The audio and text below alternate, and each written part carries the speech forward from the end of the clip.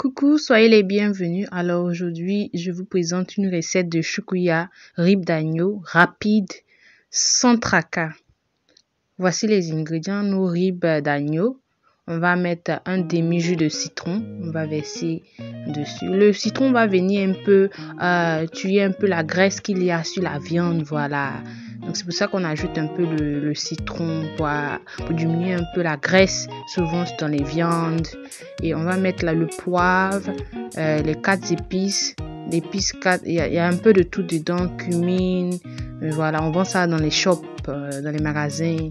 On dit quatre épices, un peu de moutarde et un peu de, cubes si vous en mangez. Moi j'ai mis un peu parce que je voulais un peu de goût.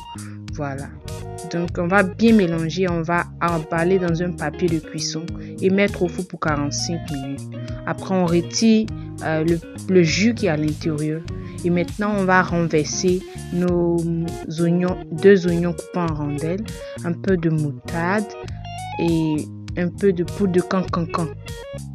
Voilà. Et 15 minutes en grille, le résultat est parfait je vous souhaite un bon appétit. N'oubliez pas de laisser un petit commentaire et on se retrouve la prochaine fois pour une petite recette.